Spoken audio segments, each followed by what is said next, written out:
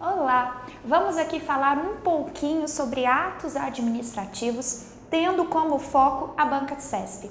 Trouxe aqui aprofundamentos, mas é de suma importância diante, que antes que você veja esse bloco, que você saiba quais são os conceitos. O que é um ato administrativo? Qual é a classificação do ato administrativo? Quais são seus elementos, seus requisitos, seus atributos? Vamos aqui fixar no que a banca CESP gosta de cobrar. Vamos lá! De acordo com a teoria dos motivos determinantes, a validade de um ato administrativo vincula-se aos motivos indicados como seus fundamentos, de modo que, se inexistentes ou falso os motivos, o ato se torna nulo, perfeito. Vamos lembrar um pouquinho o que é essa teoria dos motivos determinantes? A regra é que os atos administrativos devem ser motivados. E o que é a motivação? É justamente a explicação do que, por que a administração fez, tomou aquela decisão, fez aquele ato administrativo. Cuidado que eu não quero que você confunda motivação com elemento, requisito, motivo.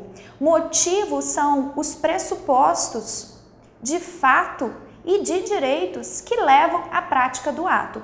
É quando você junta algo que aconteceu ali na realidade e consegue encaixar no que está na lei. Por exemplo, eu, Renata, servidora pública, completei 75 anos de idade. Você pega a Constituição Federal e determina que o servidor com 70 ou 75 anos de idade será aposentado compulsoriamente, nos termos da lei complementar. Quando eu junto o meu fato pressuposto de fato eu ter completado 75 anos encaixo ali na Constituição Federal que determina a aposentadoria compulsória, quando eu faço esse encaixe perfeito, eu pego os pressupostos de fato e de direito, eu consigo determinar o motivo do meu ato. O que não se confunde com a motivação. A motivação eu vou explicar a aposentadoria da servidora, tal, 75 anos de idade, por causa disso, disso, disso. A motivação ela é fundamental para que possa controlar os atos da administração pública. E se você não concordar, você pode questionar. Só que tem atos que não precisam ser motivados porque a motivação não tem, é, é contra a essência daquele ato. Por exemplo, nomeação de cargo em comissão.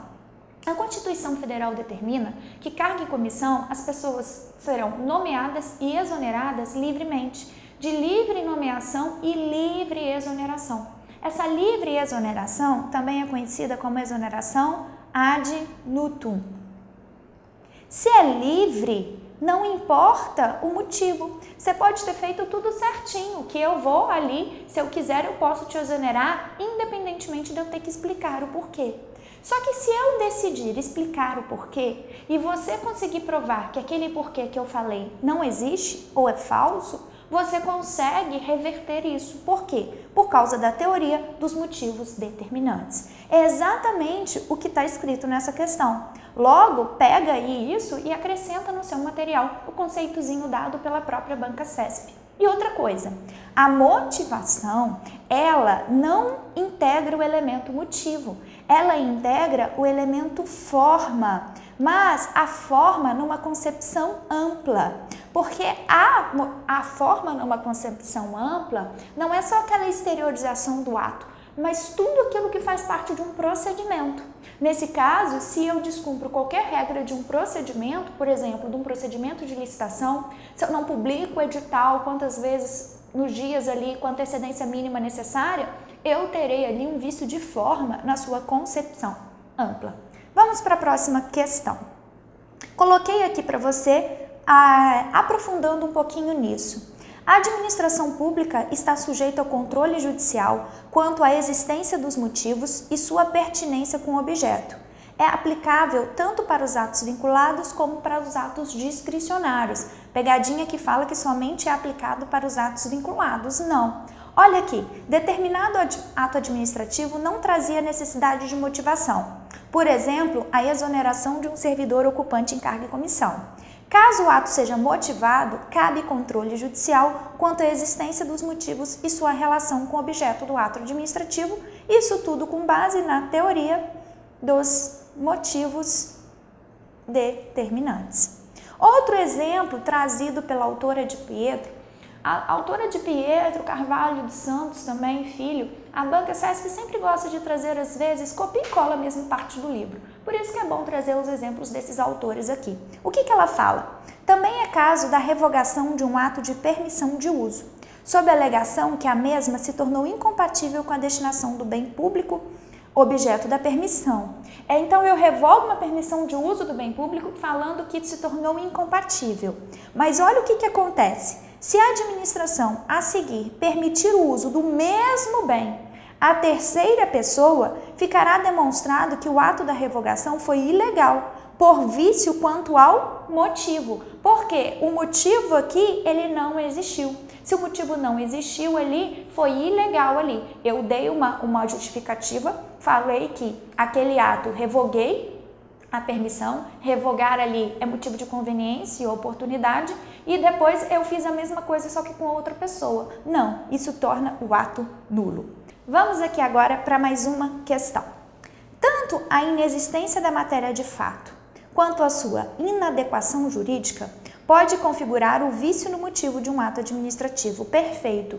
O vício no motivo não é só quando o meu motivo ele é falso, mas quando não existir aquilo de fato. Por exemplo, eu não completei 75 anos. Eu não completei 75 anos, não existe a matéria de fato. Logo, isso vicia o elemento motivo. Situação hipotética. Um servidor público efetivo, em exercício do cargo em comissão, foi exonerado ad nulto. Então quer dizer que a exoneração foi livre, em razão de supostamente ter cometido o crime de peculato. Posteriormente, a administração reconheceu a inexistência. Então, ele vinculou-se aos motivos dados, vinculação do ilícito e manteve a exoneração do servidor por tratar de ato administrativo discricionário. A prova vai falar, ah, porque ser ato administrativo discricionário não importa, não vincula. Vincula sim. Olha a assertiva. Nessa situação, o ato de exoneração é válido, pois a teoria dos motivos determinantes não se aplica às situações que constituam um crime. Claro que se aplica. A exoneração é inválida, pois o motivo que ele indicou não existe. Nesse caso, ele fica vinculado àquele motivo. Ele não precisava motivar, mas já que ele motivou, ele fica vinculado, preso àqueles fundamentos que ele deu. Resposta errada. Acerca dos atos administrativos, serviços públicos e intervenção do Estado na propriedade, julguem o item a seguinte. Comando ou posicionamento emitido oralmente por agente público no exercício da função administrativa e manifestando sua vontade, não pode ser considerado ato administrativo? Por que, que não? Pode. O que, que é ato administrativo? Ato administrativo é toda manifestação unilateral de vontade da administração pública. Logo, pode sim ser oral. A regra é que é escrito, mas não impede que seja oral. Então a resposta está errada. Quando um guarda de trânsito, por exemplo, faz um sinal para você, apita para você parar, aquele é um ato administrativo. Coloquei aqui para você que ato administrativo é toda manifestação unilateral de vontade da administração. Mas esses conceitos a prova CESP copia e cola, olha só, da administração nessa qualidade, agindo aqui com prerrogativas, agindo ali com uma posição de superioridade por causa do princípio da supremacia do interesse público. Com o quê? Com um fim imediato de adquirir, resguardar, transferir, modificar, extinguir, declarar direitos ou impor obrigações aos administrados ou a si própria. Quando fala impor a, a obrigações, nós temos aqui o requisito da imperatividade atividade, requisito não, desculpa, atributo da imperatividade do ato administrativo. Vamos aproveitar e vamos lembrar aqui: todo ato administrativo impõe obrigações? Não. Isso daqui é uma das modalidades. Pode simplesmente declarar direitos. Nesse caso, não há o atributo da imperatividade, mas continua sendo ato administrativo. A exterioração da vontade, autor que Banca CESP adora, de agentes da administração pública, olha só que interessante, ou de delegatários. Às vezes não é a administração pública própria que emana, mas os seus delegatários. Nessa condição de delegatários. Sobre regime de direito público, se sobre regime de direito público quer dizer que há ali as prerrogativas da administração pública que age em nome do interesse público, que vise a produção de efeitos jurídicos aqui para atender o interesse público. Muito importante esses conceitos que eu quero que você tenha aí escrito, porque você vai ver que muitas vezes todas as bancas, todas, copiam e colam. Cuidado que é você não pode confundir ato administrativo com ato da administração. O ato da administração é o gênero. Pegadinha clássica de prova. Todo ato da administração é ato administrativo? Não. Ato administrativo é espécie, mas todo ato administrativo é ato da administração. E segundo aqui alguns autores, o problema no direito administrativo é que há muita divergência entre autores. Então eu coloquei aqui uma mais completinha, mas há autor que tira um, um, um certo, tira um tipo aqui de classificação de espécie, outro acrescenta, coloquei a mais completa para você. Atos privados não são atos administrativos, porque atos administrativos, eu coloquei aqui para você que a administração atua com prerrogativas, porque estão regidos pelo regime de direito público. A atuação sem prerrogativas. Exemplo, quando ela aloca um bem imóvel, um bem que ela não está utilizando, ela aluga para alguém. Nesse caso, ela não age com seu poder de império, ela age simplesmente como uma, uma locatária normal, por isso que é atos privados. Nesse caso, qual que é a lei que vai regulamentar aquela relação de, lo, de locação? É a lei de locações, a mesma que um particular utiliza caso ele próprio fosse alugar um imóvel seu. Depois nós temos atos materiais. Cuidado, que primeira coisa que eu quero que você saiba é a diferença de fato para ato. Ato, você viu que envolve manifestação de vontade. Já fato é todo acontecimento. Se é um acontecimento, não tem manifestação de vontade. Por exemplo, uma enchente é um acontecimento. Só que se esse acontecimento tiver repercussão no direito administrativo, será chamado de fato administrativo. Quer ver um exemplo? Morte de um servidor. Não tem manifestação de vontade, foi um acontecimento. Só que a morte do servidor gera vacância do cargo. Se tem repercussão no direito administrativo, eu chamo de fato administrativo. Os atos materiais são ali consequências, podem ser consequências de um ato. Há autor que diz que sempre vai ser consequência de um ato administrativo. Mas o que eu quero que você leve para sua prova ali, o que diz até Carvalho Filho, que nem sempre um fato administrativo vai ser consequência de um ato anterior. Por exemplo, quando eu determino que, que haja a demolição da sua casa, eu tive um ato administrativo anterior. A demolição em si é um ato material, é simples ir lá e derrubar a casa. Ele foi consequência de um ato administrativo. Mas tem fatos administrativos, por exemplo, eu tenho ali um incêndio de uma escola pública. Nesse caso, é um fato mas que não teve um ato administrativo prévio. Então eu quero que você saiba que não manifestam vontade do Estado, são atos de mera execução, sendo aqueles que traduzem na execução material. Exemplo, demolição de uma casa, apreensão de uma mercadoria. Aqui eu tive um ato administrativo prévio. Nessa hipótese, não há declaração de vontade, mas apenas execução. Pode também ser chamado de ato administrativo. José dos Santos Carvalho Filho, autor que a sua banca adora, diz que podem ser fatos administrativos voluntários, se foi voluntário ali, ele pode ter precedido, por exemplo, de um ato administrativo anterior, ou podem ser naturais, simplesmente ali uma, uma, uma chuva, um acidente, algo que não teve manifestação de vontade antes.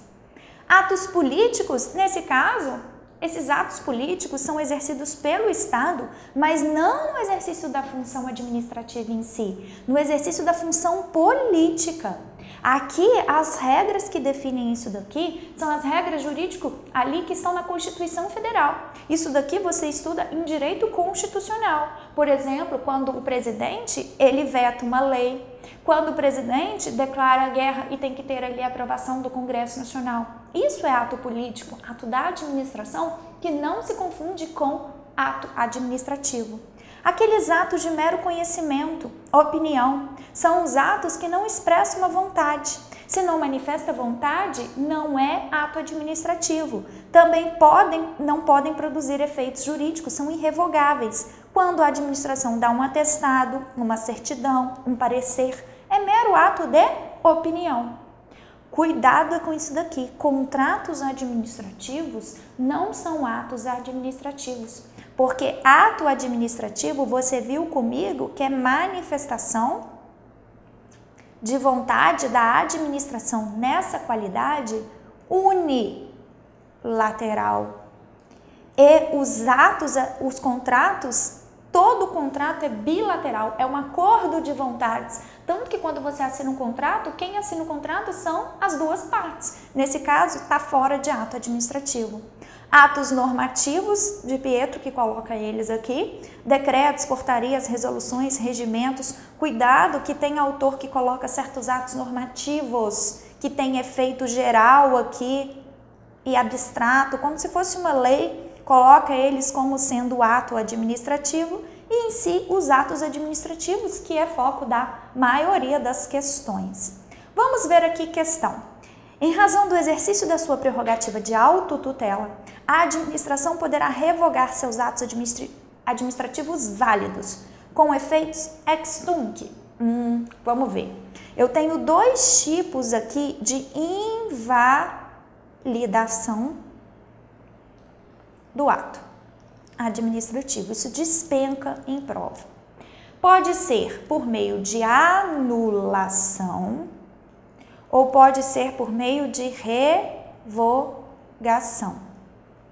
O princípio da autotutela é o direito que a administração tem de invalidar, tanto faz por um ou por outro, seus próprios atos. Quando ela invalida os seus próprios atos, isso é autotutela, como você pode ver aqui o, prefixo auto. Então vamos lá, a anulação ocorre quando a administração vê que há uma ilegalidade desse ato. Por ser um ato ilegal, os efeitos retroagem à data do ato. Ele é nulo, os efeitos são ex tunc. Logo, como quem é o poder que mais analisa a ilegalidade? É o Poder Judiciário. Poder Judiciário pode anular um ato da administração pública. Só que o Poder Judiciário tem um princípio que chama da inércia. A administração pública, de ofício, por conta própria, pode anular seus próprios atos. Mas o Poder Judiciário só pode anular os atos da administração pública se for provocado. Já a revogação não tem nada a ver com ilegalidade. Tem a ver com motivo de conveniência e oportunidade. Não tem nada a ver, o ato é legal, só que não é conveniente, não é oportuno que ele continue produzindo efeitos. Isso é o que a gente conhece como mérito administrativo. E o mérito administrativo, poder judiciário não pode. Só que diferentemente da anulação, a revogação não retroage. Ela tem efeitos dali para frente. Logo, é ex tunc o que torna a ex nunc, o que torna a alternativa incorreta. Vamos lá. As certidões emitidas pela administração possuem fé pública? Sim, possui fé pública, pois um dos atributos do ato administrativo é a sua presunção de veracidade. Perfeito. Quais são os atributos do ato administrativo? Nós temos, Pati, presunção de veracidade e legitimidade. Quais que são as consequências dessa presunção? Quer dizer que os atos eles gozam de fé pública. Então, tão logo eles sejam feitos, presume-se que eles são verdadeiros, que eles são legítimos. Então, eles produzem efeito imediatamente. Se você, particular, se sentir ofendido, percebeu que aquele ato ele não corresponde, não é verídico, é você que tem que provar que aquele ato não corresponde à verdade. Nesse caso, a gente fala que a presunção de veracidade, ela tem como consequência a inversão do ônus da prova. Você que tem que provar que o ato não é verdadeiro. Produz efeitos, vai produzir efeitos até que o poder judiciário possa anulá-lo. Anulá-lo por motivo, por exemplo, de ilegalidade. Logo, se cabe prova em contrário, eu falo que essa presunção ela não é absoluta, ela é relativa. Cabe a você particular provar que o ato não é verdadeiro. Mas nesse caso, se cabe prova, ela é relativa. O que aparece tanto o termo em latim, ela é iuris tantum. Isso quer dizer presunção relativa, não é absoluta. Nós temos também um atributo da autoexecutoriedade, que é quando a administração pública ela pode executar os seus atos independentemente de ter que recorrer ao Poder Judiciário para isso. Isso são os casos que a lei permite ou em casos de urgência. Temos também um atributo trazido por Di Pietro que as provas as bancas em geral cobram, que é a tipicidade. Todo ato administrativo corresponde ali a um ato previsto em lei. Esse da tipicidade não se aplica aos contratos administrativos. Eles podem ser atípicos, já os atos não. E o último que eu já cheguei a falar para você é a imperatividade, que significa que os atos, certos atos que são prestados ali no poder de império, são aqueles que impõem obrigações mas eles não estão presentes em todos os atos administrativos.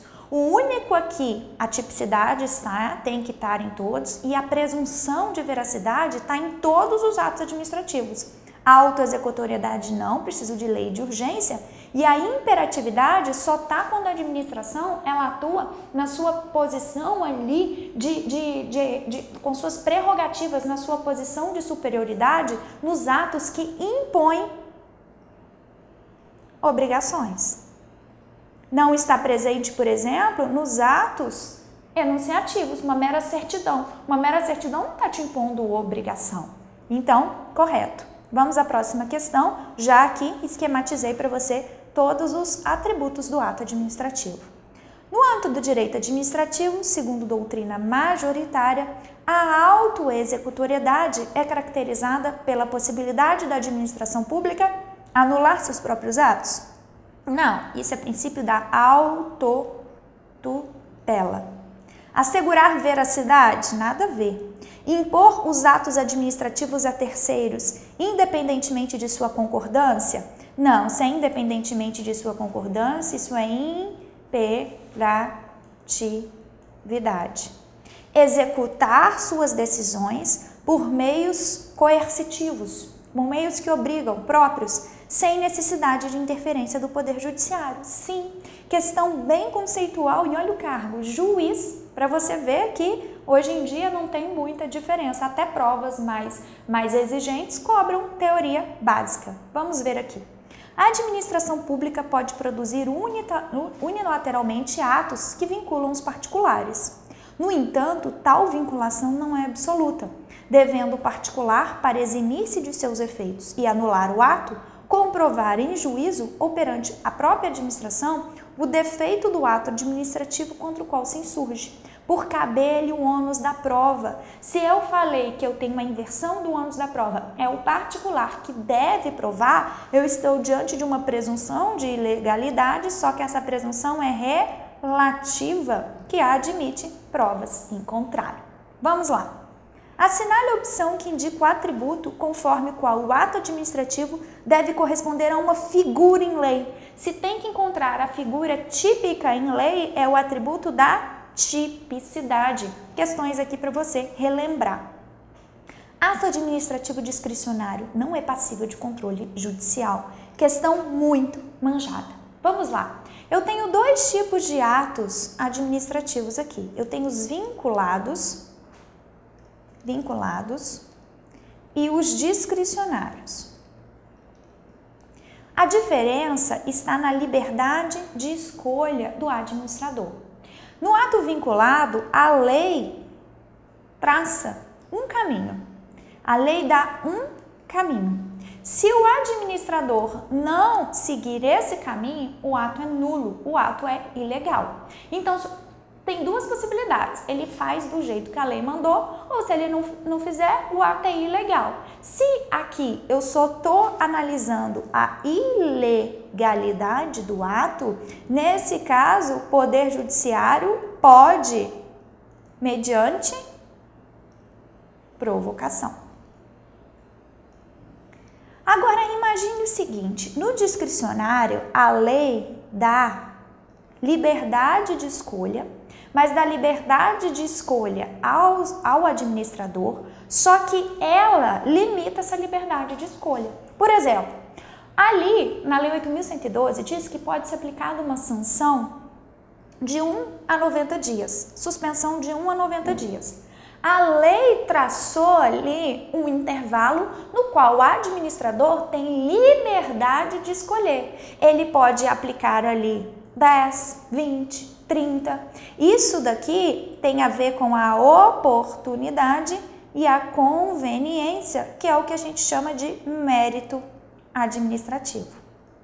Mas nesse caso, se eu levei uma suspensão de 30, eu não posso entrar no Poder Judiciário, na Justiça e falar assim: olha, eu não concordo, eu merecia de 10 dias só. Não, porque o administrador agiu dentro dos limites dados para a lei. Só que aqui também há, pode haver ilegalidade. Quando, por exemplo, o administrador ele ultrapassa os limites trazidos lei, pela lei. Olha, ele me aplicou uma suspensão de 100 dias. Aí o ato passa a ser ilegal. Ele foi além do limite trazido na lei. Se ele foi ilegal, aqui o Poder Judiciário pode. Aqui o Poder Judiciário não pode. Então, cuidado, é muito errado eu, diz, eu falar que ato discricionário não é passível de controle judicial. Ato discricionário não é passível de controle judicial quanto ao seu mérito, mas é passível do controle judicial se o administrador ele vai além dos limites trazidos pela lei quanto à ilegalidade. Questão ali fundamental para você entender essa classificação, logo está errada. Nesse sentido, perceba, o parâmetro do juiz ao controlar a discricionariedade e na atuação do agente público não está apenas na lei, e sim nos, mas também nos princípios. Olha que legal. Nós tivemos uma mudança de interpretação. Antes, quando o quando o Poder Judiciário analisava a ilegalidade de um ato, ele via só se aquele ato estava de acordo com a lei.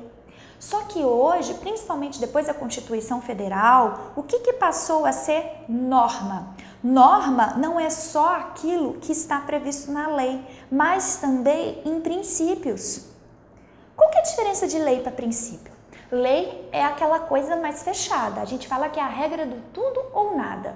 Ou você aplica o que está na lei, ou você não aplica. Princípio já não é bem assim. Princípio a gente tem que fazer o que chama uma ponderação. Quer ver um exemplo muito, muito, que, que é muito citado? A pessoa, ela tem direito à intimidade. Ela tem direito à intimidade dela. Mas também, eu, eu a, dependendo do que ela fez ali, o interesse público ali da publicidade pode ser maior. Então eu tenho um princípio ali que guarda a intimidade, tenho o princípio ali também que guarda que os atos da publicidade dos atos administrativos. Eu tenho, por exemplo, o princípio direito à vida, mas além eu ter o direito à vida, eu tenho aqueles casos que o direito é, o direito contra a vida, por exemplo, o aborto ali, em certos casos são admitidos, prevalece. Então, no princípio, não é aplico tudo ou nada. Eu tenho que fazer uma ponderação para, no caso concreto, eu ver qual que é o princípio mais adequado. E nisso, agora, o controle da legalidade pelo Poder Judiciário não é mais na regra do tudo ou nada, é baseado nos princípios. Inclusive, um princípio que é muito subjetivo, que é o princípio da razoabilidade e proporcionalidade. Então, ainda que o administrador agiu dentro da lei, se o Poder Judiciário percebeu que aquela ação não foi razoável, não foi proporcional, que os meios utilizados por ele não eram condizentes com a finalidade que ele queria alcançar, pode anular. Olha como é que eu dei mais poder para o Poder Judiciário para limitar mais os atos do administrador. Olha só, de onde o STF tirou que é vedado o nepotismo para parentes de terceiro grau? Nunca existiu lei falando isso que não poderia nomear parente até segundo grau para cargo de comissão ou função comissionada. Está escrito em alguma lei? Não. Mas o STF extraiu do princípio da impessoalidade e da moralidade. Olha como é que os atos aqui da administração estão cada vez mais controlados pelo Poder Judiciário. Agora, o Judiciário analisa a discricionariedade tendo como limite a legalidade, se está ali no princípio, leis e princípios, enquanto antigamente analisava só com base na lei. Temos um aumento do controle em tela. Então eu quero que você saiba, se o Poder Judiciário analisa a razoabilidade e a proporcionalidade de um ato, eu quero que você saiba que isso hoje é considerado controle de legalidade, porque a, legalidade, o conceito de legalidade hoje é amplo, abrange lei e abrange princípios. Ok? Muita atenção com isso? Bom, no próximo bloco a gente continua. Tchau!